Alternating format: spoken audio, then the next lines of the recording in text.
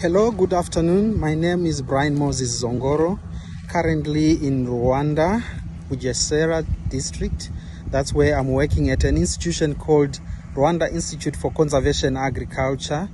I'm from Zimbabwe. I was born in 1980. I did my education in Zimbabwe. I completed a diploma in agriculture at Gwebi College of Agriculture, and then from there, I proceeded to work uh, with Pannar Seeds, which is a multinational uh, seed company.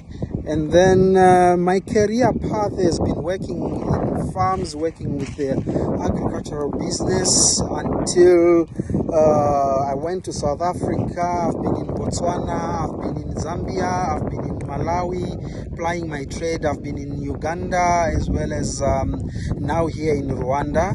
This is part of what I do. If I can uh, show the fields we planted this field uh, with maize. We've got two varieties.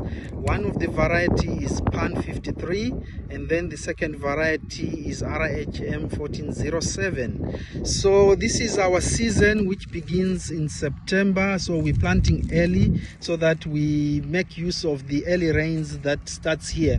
And then this field where i am i'll be planting soya beans but currently i'm doing